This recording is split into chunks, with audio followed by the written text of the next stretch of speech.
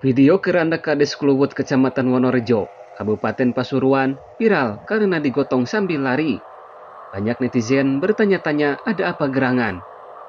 Kepala Dusun Limasan, Desa Kluwut Kecamatan Wonorejo, Kabupaten Pasuruan, Edi Saputra, 26 tahun, mengatakan saat itu keranda jenazah dibawa 8 orang.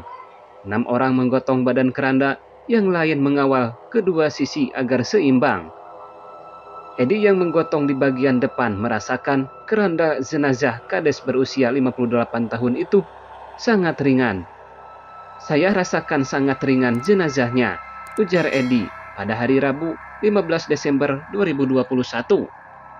Saat keranda diantar dari masjid ke tempat pemakaman umum yang berjarak 50 meter.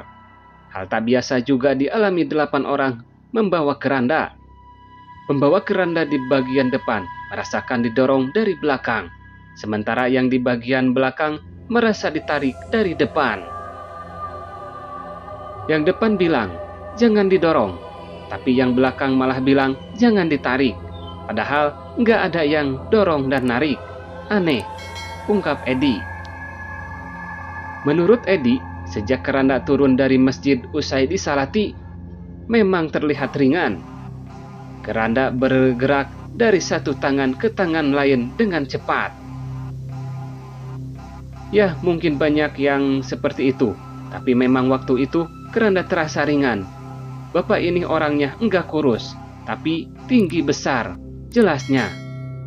Kades Sahroni meninggal pada hari Sabtu, 11 Desember 2021 pukul 01 lewat 15 waktu Indonesia Barat di salah satu rumah sakit swasta di Sukorejo, Kabupaten Pasuruan sebelumnya pada hari Jumat 10 Desember 2021 malam diantar keluarganya ke rumah sakit karena sakit lambungnya kambuh. Jenazah dimakamkan pada hari Sabtu pagi.